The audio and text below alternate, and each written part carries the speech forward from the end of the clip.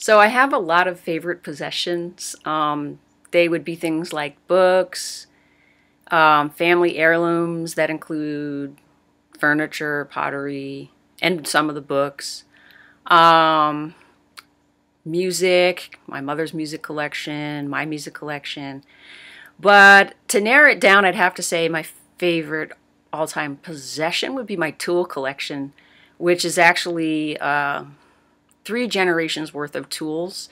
Some owned by my grandmother, Carmelita Hinton, some owned by my aunt, Jean Hinton Rosner, and then some owned by my father, William Hinton, and then some that I purchased on my own for various projects. So, yeah, that's how I would narrow it down. What works of art inspire me? Another difficult question because there's so many works of art that feed into what I do and that I've been inspired by from a very early age. Um, given that my grandmother had a house full of artwork, a large 200 year old farmhouse full of artwork, and I used to stay with her every weekend, and I was always staring at all the artwork. um, so, but I'm going to narrow it down. I have a couple of categories. Um, so in the modern art category, I would say Willem de Kooning, the abstract expressionist Willem de Kooning, um, would be one of my favorite artists. Um, I don't have a work of his narrowed down, but just his general approach and the sort of dynamic, immediate expression of it and the way he handles the paint. Yes, it's about you know, expression of concepts, ideas, thematics, but it's also about the paint itself, the quality of the paint, the juiciness of it, the colors merging into one another, and so on and so forth. Um, and just the whole lifestyle. Like, for, for example, when you read some of his writings, he talks about being a studio painter as a lifestyle in its own. You get up, you're facing a blank canvas, you deal with the blank canvas, you express your emotions on the blank canvas, you grapple with the blank canvas, you you turn it around, you turn it the other way while you work on another one. Um, you might have 10 going at the same time. You rotate around, you turn one back over and realize, okay, this painting will be done uh, with just one more stroke of red over here in the upper right. Um, and that's your lifestyle. Like that is your, um, what's the word? Your, that's, that's your challenge. Like that is your challenge. And you can see it in the paint. You can see the struggle inherent in the painting. You can see the, the sort of life force coming of that grappling with the paint, the composition, the meaning, so on and so forth. Anyway, this is getting very long-winded, but um, and then that ties into another favorite art form of mine, which really shows up in all of the art that I do, even though it's not that obvious anymore, and that would be traditional Chinese painting. Um, I studied traditional Chinese painting um, when I was still a teenager before I actually went to American art schools, and somehow there's a connection for me between traditional Chinese painting and abstract expressionism in the immediacy, in the dynamic contrasts that are inherent in the work, uh, the life force that comes through in the work. Um, so these things are not um, exclusive of one another. I feel that they're, I like them for, the, for similar reasons because I studied traditional Chinese painting back in the early 80s when I was a teenager still, um, and it is such a strict discipline and the way it's taught, um, it's skill focused.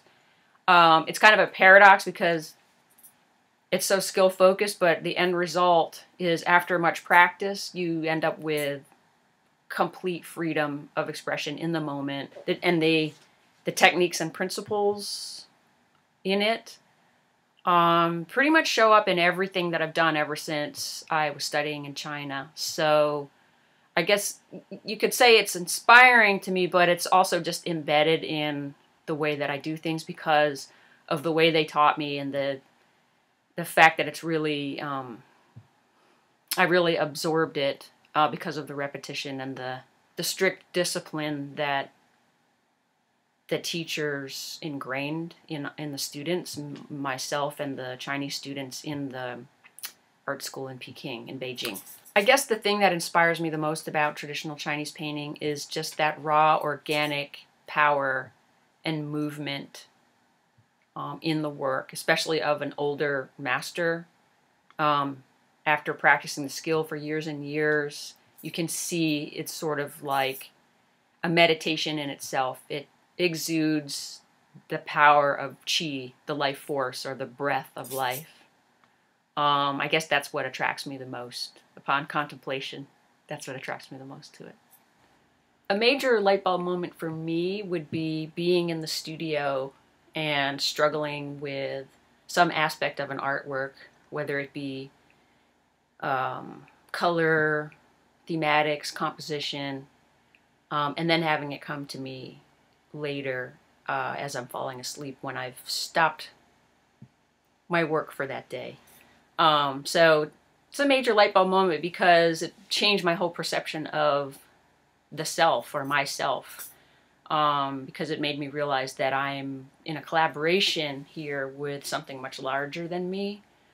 And so it was really the onset of my um, I guess you'd call it just awareness of what I call the unseen dimensions, um, the mysterious unseen dimensions. You could call it the fourth dimension, you could call it the spirit world.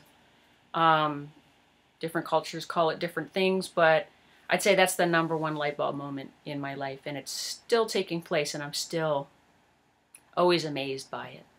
I think it's fascinating. My number one guilty pleasure would have to be watching old reruns and sitcoms from the 70s, like um, Columbo, All in the Family, and Barney Miller. I guess what I'd like to be doing most right now would be building things with my tools in a large barn studio with plenty of space, um, where I'd have at least 10 projects going on simultaneously. And um, they'd probably be mixed media projects and I'd have like I said I'd have my tools out I'd also have my paints out and some sewing materials I might have my printer going I'd be in heaven and then I'd be in an, in an environment um, maybe out in the woods somewhere with some acreage where when I get tired of working in the studio or I get stuck I would just go out I would just go outside. I'd go swimming, fishing, hiking, camping. Um, I'd have friends come with me, family and friends, visiting. Uh, we'd have dances, music, folk dance, square dance, traditional dance, modern, just dance, dance, just dance to some soul music, dance to some rock, dance to some reggae, dance to some world music. Um, not sure about dancing to jazz, even though jazz is one of my favorite forms of music, which is usually on when I'm in creative mode. Also, world music is also is on a lot when I'm in creative mode, um, which is very danceable. Most most of my favorite world music I would consider very danceable. But th that's what I would like to be doing. All this, all the above. I know it's a long list, but I guess I just have a hard time narrowing things down sometimes. I love so many things.